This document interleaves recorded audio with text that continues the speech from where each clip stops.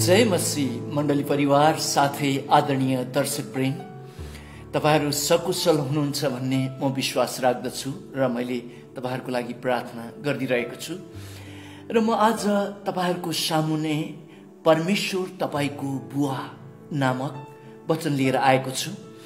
पवित्र बाइबल धर्मशास्त्रले जब तपाईँले प्रभु येशुलाई मुक्तिदाता भनेर चिन्न भयो र तपाईँको आमाको गर्भमा सृष्टि गर्नुहुने परमेश्वर मानव रूप लिएर धरतीमा आउनुभयो र क्रुसमा उहाँ मर्नुभयो र तपाईँको पाप क्षमा उहाँले क्रुसबाट रगत बगाएर गर्नुभयो भन्ने कुरालाई तपाईँले विश्वास गर्नुभएको छ भने तपाईँ परमेश्वरको परिवारमा प्रवेश गरिसक्नु भएको छ। यानि तपाईँ परमेश्वरको छोरा छोरी भइसक्नु भएको छ र परमेश्वर तपाईँको अब्बा पिता हुनुहुन्छ। भनेर चाहिँ पवित्र बाइबल धर्मशास्त्रले बताएको छ। र रोमीको पुस्तक आठ अध्यायको पन्ध्र पदबाट म यस खण्डलाई पढिदिन्छु।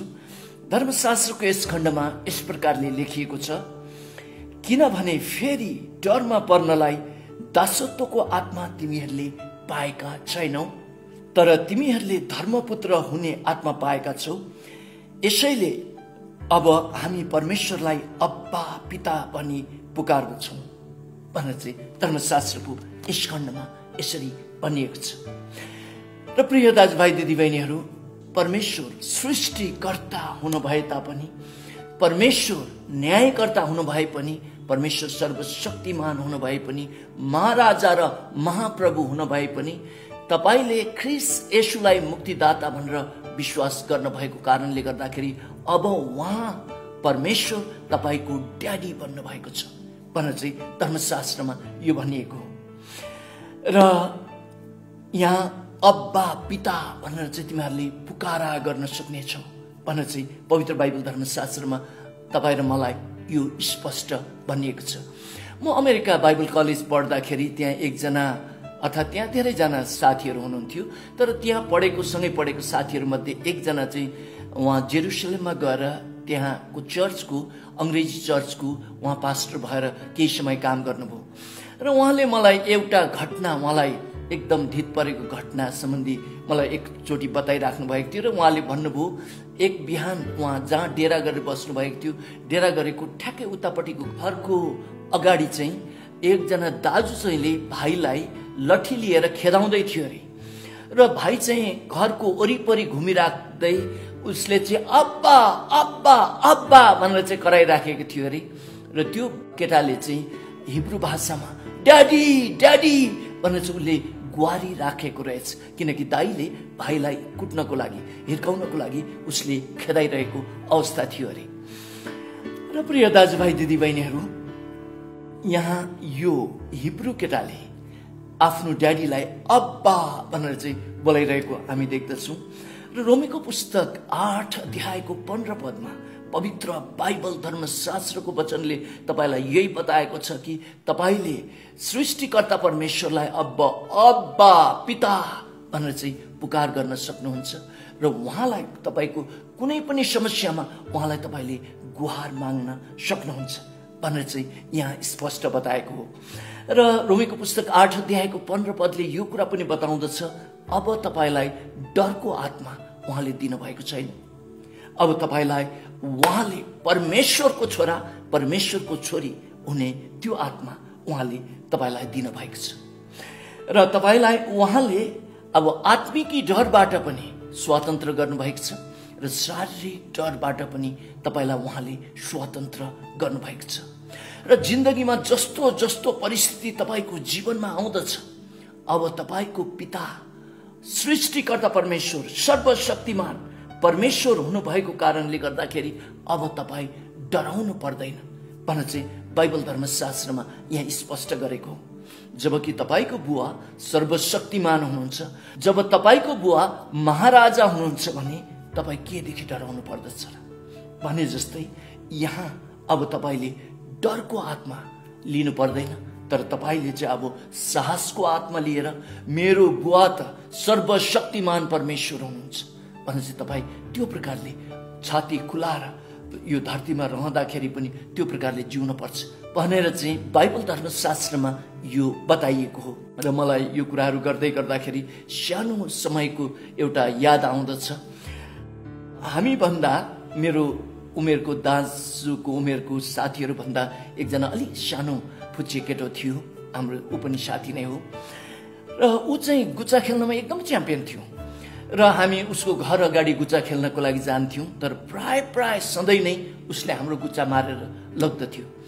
उसले टाढो रहेको गुच्चालाई पनि ठक्कै घुँडामाथि उसको हात राख्थ्यो र यसो सिस ताक्थ्यो स्वाक्क सिँगान तान्थ्यो र टुङ्ग हानेपछि ठक्रकै पार्थ्यो र ऊ एकदमै गुच्चामा च्याम्पियन थियो। तर ऊ हामीभन्दा अलिक सानो भएकोले गर्दाखेरि हामी कहिलेकाहीँ उसलाई गुल्चे गर्थ्यौँ। कहिलेकाहीँ उसले मारेको गुच्चा दिँदैनथ्यौँ। उसले मारिसकेर हात पारेको गुच्चालाई पनि हामी खोज्न जान्थ्यौँ र त्यो समयमा यो केटाले बाउ भनेर कराउँथ्यो। र जब उसले बाउ भनेर कराउँथ्यो हामी डराउँथ्यौँ र ए लैजा लैजा बाउले नबोला भनेर चाहिँ हामी यसरी भन्थ्यौँ। र यो फुचे केटाको सबै कुराहरूको भर चाहिँ उसको बुवा नै हुनुहुन्थ्यो। र उसले मनमा यो विश्वास यो भरोसा गरेको थियो मलाई जे सुकै आपत्ति विपत्ति संसारमा किन नआओस् मेरो बाउ हुनुहुन्छ। भनेर चाहिँ यो फुचे केटा बाँचेको हुनुपर्दछ। र उसलाई जे जे एक प्रकारको अवस्थाहरू हामीले ल्यायौँ उसले बाउ भनेर कराइहाल्थ्यो। र प्रिय दाजुभाइ दिदीबहिनीहरू तपाईँले ख्रिस येसुलाई मुक्तिदाता भनेर चिन्ह भएको कारणले गर्दाखेरि पवित्र बाइबल धर्मशास्त्रले यो बताएको छ अब सृष्टिकर्ता परमेश्वर चाहिँ तपाईँको बुवा हुनुभएको छ। र तपाईँ अब डराउनु पर्दैन। तपाईँ भयभीत भएर अब तपाईँ जिउनु पर्दैन। भनेर चाहिँ बाइबल धर्मशास्त्रले बताएको हो। र तपाईँलाई आत्मिकी डरबाट पनि उहाँले छुटकारा दिइसक्नु भएको छ। र शारीरिक डरबाट पनि उहाँले तपाईँलाई छुटकारा दिइसक्नु भएको छ। र आत्मिकी डर भन्नाले टुनामुनाको डर श्रापको डर मन्त्रतन्त्रको डर र भूत प्रेतको डर यी सबै डरहरूबाट पनि तपाईँलाई उहाँले छुटकारा दिइसक्नु भएको छ भने नरक गइन्छ कि भन्ने डर त्योबाट पनि उहाँले छुटकारा दिनु भएर तपाईँलाई अनन्त जीवन दिइसक्नु भएको छ। प्रभु यशुले भन्नुभयो म अब तिमीहरूको लागि घर तयार पार्न जाँदैछु भनेर चाहिँ उहाँले भन्नुभयो। र प्रिय दाजुभाइ दिदीबहिनीहरू अब भूत प्रेत टुना मुना यी कुनै पनि प्रकारका कुराहरूदेखि अब तपाईँ डराउनु पर्दैन। र एकपटकको कुरा हो पास्टर बहादुर देवान दाईले मलाई एउटा घटना बताउँदै हुनुहुन्थ्यो। उहाँले इन्डियामा हुँदाखेरि प्रभु यीशुलाई मुक्तिदाता भनेर विश्वास गर्नुभएछ। र विश्वास गरेको ठ्याक्कै पछि उहाँ पहाडको घरमा विधामा आउनु भएछ विधामा आउँदाखेरि एक बेलुकी चाहिँ त्यहाँ दुष्ट आत्मा खेलाउने मानिसहरूले कुछ कुराहरू गर्न गइरहेका रहेछन् र गाउँलेहरू धेरै जम्मा भएर त्यो हेर्नको लागि जानुभएको रहेछ र उहाँ दाई पनि त्यहाँ जानु हुँदैन भन्ने उहाँलाई थाहा रहेनछ र उहाँ त्यहाँ जानु भएछ र त्यो मानिसले चाहिँ उसको दुष्ट आत्मालाई बोलाएछ र त्यो प्रकारले फलाकेछ बोलाएछ तर दुष्ट आत्मा आउँदै आएन रहेछ। र सबै मानिसहरूतिर हेरेर को चाहिँ यहाँ छ? जसले गर्दाखेरि यहाँ मैले बोलाएको आत्माहरू डराएर आइरहेको छैन को छ? भनेर चाहिँ त्यसरी त्यो व्यक्तिले भन्नुभएछ। र त्यो व्यक्तिले त्यसो भनेपछि उहाँ तिरबहादुर देवन दाईले विचार गर्नुभएछ ओहो ख्रिस यसुलाई विश्वास गरेपछि त भूत पाक्छ भनेर चाहिँ सुनेको थिएँ। मेरो कारणले त यो मानिसले बोलाएको दुष्ट आत्माहरू आउनलाई डराएर नआएको त होइन भन्ने विचारले मन मनमा विचार गर्नु भएर छेउको साथीलाई म एकछिन पिसाब गरेर आउनु पर्यो। भनेर चाहिँ भन्नु भएर ठ्याक्कै बाहिर निक्लिनु भएछ त्यही समयमा त्यो मानिस त गडडडडड काम्न थालिहालेछ। र प्रिय दाजुभाइ दिदीबहिनीहरू यहाँ पास्टर बहादुर देवन दाईले मलाई भन्दै हुनुहुन्थ्यो कि दुष्ट आत्मा चाहिँ हामीदेखि डराउँदो रहेछ किनकि उसले चिन्दछ कि हाम्रो पिता को हो हाम्रो अब्बा ड्याडी को हो। भनेर चाहिँ उसले चिन्दो रहेछ र ऊ चाहिँ डराउँदो रहेछ। भनेर चाहिँ पास्टर बहादुर देवन दाईले त्यो कुराहरू भन्दै हुनुहुन्थ्यो।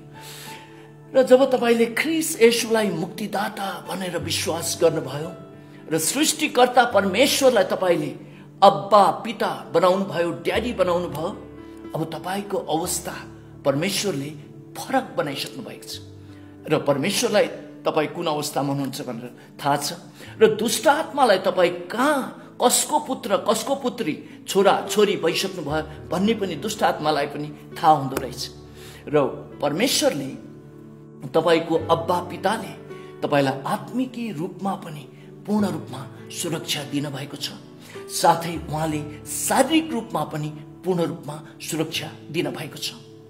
र हामीले जसरी संसारिक यानि हामी पापी स्वभावका आमा बुवाहरूले त आफ्ना छोराछोरीहरूलाई कुनै पनि आपत्ति विपत्ति नआओस् के पर्ला तिनीहरूलाई के होला भनेर हामी यो प्रकारले उनीहरूलाई सुरक्षा दिन चाहन्छौँ भने स्वर्गीय असल पिताले त झन् उहाँले तपाईँलाई असाध्य सुरक्षा दिनको लागि हर तवरमा उहाँले सुरक्षाको घेरा तपाईँमा राखिदिनु भएको छ भनेर बाइबल धर्मशास्त्रले बताएको हो। र एकपटकको कुरा हो म बाइबल कलेज पढ्नको लागि सिलोङ मेघालय अर्थात् इन्डिया जानको लागि तयार तुर गर्दै थिएँ। मेरी आमाले भन्नुभयो त्यो तल गएर चाहिँ एउटा अङ्कललाई धान ल्याइदिनु भनेर चाहिँ भन्। त्यो गाउँमा गएर भनेर चाहिँ भन्नुभयो। र म त्यहाँ जानको लागि रेडी हुँदै थिएँ। आमाले भन्नुभयो तैँले क्यामेरा पनि लिएर जा त्यहाँ नजिकमा छ्यामाको घर छ। उनीहरूको फोटो पनि खिचेर लिए भनेर चाहिँ आमाले भन्नुभयो। र मैले आमालाई भने आमा मलाई त यो क्यामेरा बोकेर हिँड्नु गाउँमा लाज लाग्छ हौ। म त लान्न भनेर भन्दाखेरि त्यो क्यामेरा बोकेर जा भनेर चाहिँ उहाँले गाली गर्नुभयो। र त्यो पछि मैले क्यामेरा घाँटीमा भिरेँ। र त्यो गाउँ छेउमा म पुगेँ। गाउँ छेउमा पुगेपछि त्यस समयमा धानको बालाहरू टिपिएको रहेछ र नरुवाहरू मात्रै खेतमा रहेछ। र मैले त्यत्रो घुमेर के जाने सर्टकट बाटैबाट नरुवे नरुवा जाउँ भनेर चाहिँ त्यो प्रकारले त्यो नरुवे नरुवा आउँदै थिएँ।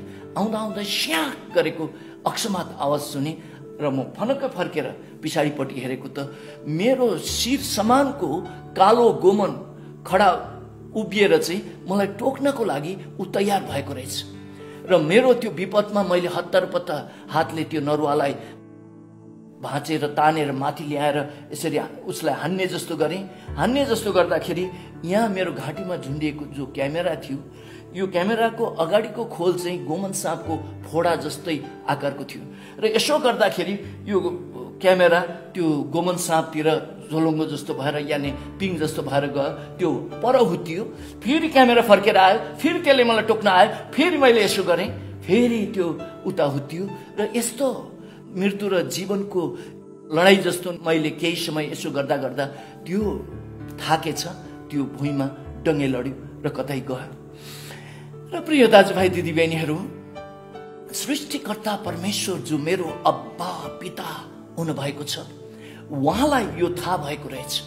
म चाहिँ उहाँको भविष्य देख्ने आँखाले म बाटोमा जाँदा जाँदै त्यो सर्टकट बाटो लिनेछु र त्यो सर्टकट बाटो लिएपछि म त्यो नरुवा घारीबाट जानेछु र त्यहाँ गोमन सापको मुखमा म पर्नेछु त्यो मृत्युको दुधको मुखमा म पर्नेछु र मलाई आपत्ति विपत्ति पर्छ भनेर चाहिँ सृष्टिकर्ता परमेश्वर मेरो अब्बा पिता प्रभु येशु ख्रिसले मेरो आमा मार्फत बोल्नु भएर त्यो क्यामेरा मेरो घाँटीमा बिराइदिनु भयो त्यो क्यामेरा चाहिँ मेरो लागि एउटा ठुलो ढाल। सुरक्षाको वस्तु जस्तो नै बन्न पुग्यो। र जसको कारणले गर्दाखेरि त्यो क्यामेरा मार्फत मलाई त्यो गोमन साँपको टोकाइबाट प्रभुले बचाउनु भयो र प्रिय दाजुभाइ दिदीबहिनीहरू तपाईँको अब्बा पितालाई तपाईँको जिन्दगीमा कुन कुन प्रकारको समस्या आउँदछ कुन कुन प्रकारको आपत्ति विपत्तिमा भएर तपाईँ जानुहुन्छ त्यो कुरा पनि उहाँलाई थाहा छ। उहाँले ती सबै अवस्थाबाट तपाईँलाई सुरक्षा दिनको लागि उहाँले बन्दोबस्त पनि मिलाइदिनु भएको हुन्छ। जसरी मलाई त्यो गोमन साँपको सामना गर्नको लागि क्यामेरा घाँटीमा झुन्डाइदिनु भयो। उहाँले आपत्ति विपत्ति आउँदैन भन्नुभएको छैन। यसियाको पुस्तक त्रिचालिस अध्यायमा तिमीहरू पानीबाट भएर जानेछौ तिमीहरू आगोबाट भएर जानेछौ भनेर त्यहाँ लेखिएको छ। र आपत्ति विपत्तिमा भएर उहाँले जानु दिनुहुनेछ तर हामीलाई मर्न दिनुहुने छैन। हामीलाई खतम हुन उहाँले दिनुहुने छैन।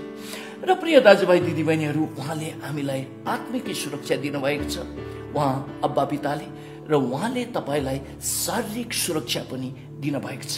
र तपाईँ डराउनु पर्ने आवश्यक छैन भनेर चाहिँ पवित्र बाइबल धर्मशास्त्रले बताएको हो।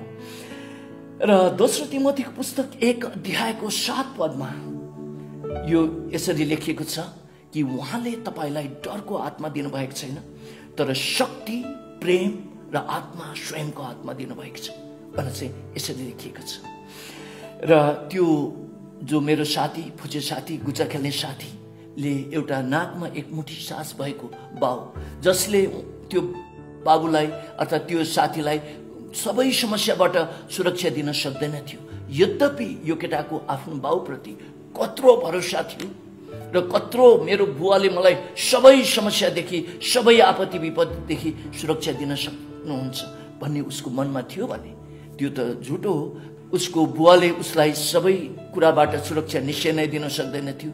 तर तपाईँले विश्वास गर्नुभएको सर्वशक्तिमान परमेश्वर यशु मसियाले चाहिँ तपाईँलाई सबै आपत्ति विपत्तिबाट आत्मिक आपत्ति विपत्ति शारीरिक आपत्ति विपत्ति यी सबैबाट उहाँले पूर्ण सुरक्षा दिन सक्नुहुन्छ। किनकि उहाँ सर्वशक्तिमान परमेश्वर हुनुहुन्छ।